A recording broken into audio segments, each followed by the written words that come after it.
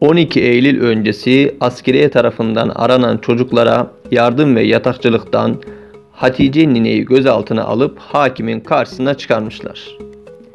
Hakim Hatice nineye sen bu gençlere ekmek vermişsin, eve alıp yemek vermişsin, öyle mi diye sormuş.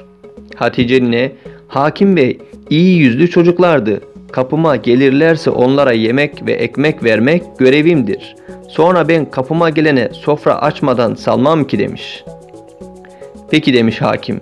Hatice nine sen bu gençler illegal demedin mi? Hatice nine yok hakim bey ben onlara illa kalın demedim demiş. Hakim yemin eder misin bunların illegal olduğunu bilmediğine diye sormuş. Hatice nine Şah Hüseyin'in başı için ben bunlara illa kalın demedim demiş. Hakim böyle yemin mi edilir? Başka yemin et demiş. Hatice nine Karaçov beni taş kessin ki dediğim doğrudur demiş. Hakim olmadı. Başka türlü yemin et demiş. Hatice nine Aa Hüseyin Abdal'ın niyazı olsun demiş. Hakim o da kim?